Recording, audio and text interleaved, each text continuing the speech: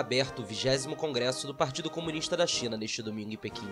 Os quase 2.300 delegados da sigla se reuniram para o encontro que deve, dentro de uma semana, ratificar Xi Jinping como secretário-geral do PCC, um prelúdio para sua reeleição no ano que vem como presidente do país, se consolidando como o líder mais poderoso desde Mao Zedong. Ovacionado em sua chegada, Xi discursou por mais de uma hora e meia no Grande Salão do Povo e pediu unidade. 中国共产党第二十次 o 20 Congresso Nacional do Partido Comunista da China é um congresso muito importante, convocado em um momento crítico, quando todo o partido e o povo de todos os grupos étnicos estão embarcando em uma nova jornada de construção abrangente de um país socialista modernizado e marchando em direção ao segundo objetivo centenário.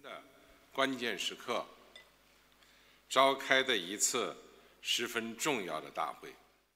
a gestão da pandemia, com uma política restritiva de Covid-0 ainda em vigor e seu impacto econômico também foram abordados.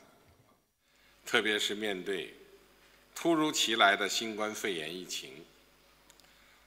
especialmente quando enfrentamos a inesperada pandemia de Covid. Optamos por colocar as pessoas e suas vidas em primeiro lugar. Aderimos a uma política inabalável de Covid-0. Travamos uma guerra popular, uma guerra total e uma guerra de bloqueio para combater a pandemia. Proteger a segurança e a saúde das pessoas até o mais alto grau.